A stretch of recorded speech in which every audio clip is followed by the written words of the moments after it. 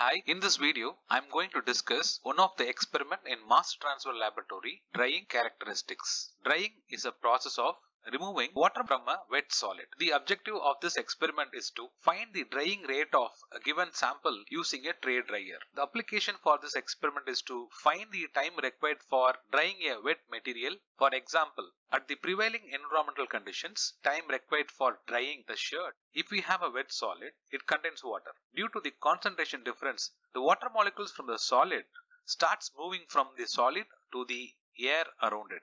In this particular experiment, we gonna calculate the drying rate that is the time required for removing the water from the wet solid in this experiment. To start with this experiment, we need to know some basic definitions that involves in drying. The first terminology to be understood is humidity. It is the amount of water present in the air as vapor. The next term is saturation humidity. That is the maximum possible amount of water that can present in the air at the specific temperature conditions. The relation between the humidity and the saturation humidity is termed as relative humidity.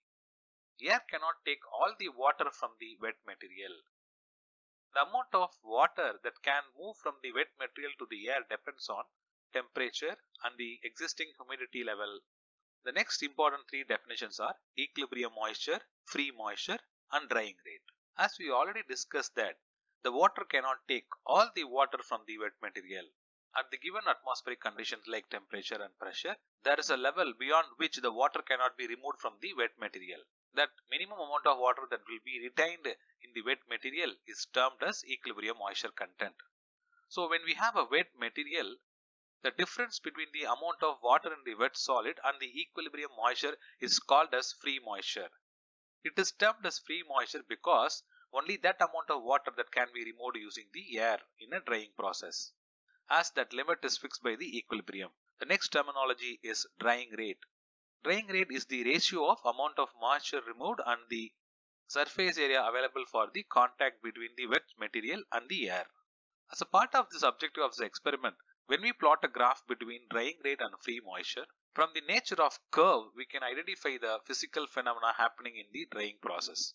From the graph, we can classify the drying process into two stages, constant drying rate and falling drying rate. When the drying process begins, the rate of drying increases and it becomes constant. Beyond a particular point, the drying rate starts decreasing. The range of moisture for which the drying rate is constant is termed as constant drying rate and the region of free moisture where the drying rate falls is termed as falling drying rate. The free moisture level at which the drying rate falls down is termed as critical moisture content.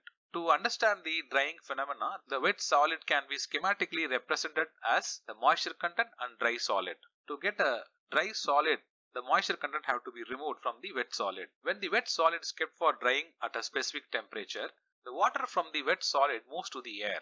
The particular inner circle represent the equilibrium moisture content. That is, at this given drying temperature, this is the water level which cannot be removed further. Hence, this amount of moisture content is termed as equilibrium moisture content. The remaining moisture apart from the equilibrium moisture is termed as free moisture. Now, at this given temperature conditions, only this free moisture content can be removed from the wet solid material. The free moisture content can be further segregated into two regions. One is termed as superficial moisture region, another is termed as critical moisture region. During the superficial moisture region, the rate of drying will be constant. When it crosses the critical moisture content, the rate of drying start decreasing. Hence, the particular region is termed as falling rate period. The moisture content at which the constant drying period starts decreasing is termed as critical moisture content. In a drying experiment, the objective is to determine the critical moisture content, equilibrium moisture content, time required for drying and the rate of drying. To perform this drying experiment, 25 gram of calcium carbonate will be mixed with 25 ml of water in a stainless steel plate. The diameter of the plate is 12.7 centimeter. Once we make a wet solid material from calcium carbonate and water, the total weight comes to be 50 gram. The drying surface area available for the air to contact the wet material can be calculated by pi d square by 4. In this case, by knowing the diameter of the plate, we can calculate the available drying surface area which comes to be 0.013 meter square. Once we prepare this wet material, drying experiment will be carried out by keeping this plate with wet material in the hot air oven at 200 degrees Celsius. The drying process is monitored by taking the mass of the sample at an interval of 5 minutes. During the drying experiment, when we measure the mass of the wet material, we can notice that the mass of sample is decreasing. The reading has to be continuously taken until the mass of the sample is no more changing. In this experiment, we can see that the mass of the sample measured at 35th minute and 40th minute is same. Now we can calculate the moisture content. The moisture content can be calculated using the formula m minus s by s. The s stands for the mass of dry sample taken. In this case, 25 gram of calcium carbonate is the dry solid.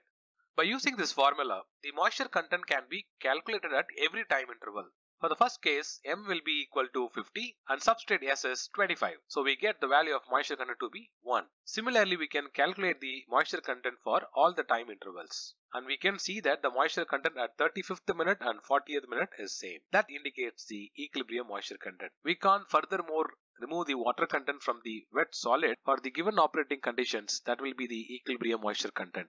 Once we calculated the moisture content, we can plot this as a graph and see the trend. We can see that with the time, the moisture content is decreasing. And also we can notice that the time required for drying is 35 to 40 minutes. Now we can move on to calculate the rate of drying. The rate of drying is given by this formula. As we already have S and A value, we have to calculate dx and dt, that is change in the moisture content with respect to time. To perform that, we are extending the table. To calculate the dx, we have to find the difference between the first value and the second value. In this case, it will be 0.78 minus 1 that comes to be minus 0.22. Similarly, we can calculate for the time difference that uh, comes to be 5 minutes. With this dx value and dt value, we can calculate the rate of drying. Since we are finding the difference in the moisture with respect to time interval, we will not get the dx and the drying rate for the 0th minute reading. As we calculated the drying rate at 5th minute, we can calculate for remaining time intervals. Once we calculated the drying rate for all the time intervals, we can plot moisture content versus drying rate as a graph. From the graph we can see that initially the drying rate is increasing, then the rate is almost constant. At a particular point it starts declining. Now the range of moisture for which the rate of drying is constant is termed to be constant drying rate and for the range of moisture for which the rate is declining is termed as falling drying rate. By drawing a perpendicular line from the constant drying rate starting point, we can find the initial moisture content that comes to be 0.78 kg moisture per kg dry solid in this experiment. Similarly, when we draw a perpendicular line towards x-axis, from the point at which the rate starts decreasing, we can get the critical moisture content. The point at which the drying curve intersects the x-axis is equilibrium moisture content. Thus, we conducted a drying experiment and we identified the drying characteristics including initial moisture content, critical moisture content, and equilibrium moisture and the time required for drying and finally the concentrate of drying. Thank you.